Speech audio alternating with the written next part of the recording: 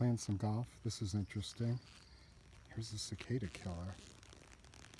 It's a solitary wasp digging a burrow right on the green. These guys sting and kill cicadas. Well, they paralyze them and they lay their eggs on them. That is a cicada killer. To give you an idea of how big this guy is, let's get my finger over there. There's my finger right next to it. That's a big wasp. Beautiful too. Okay.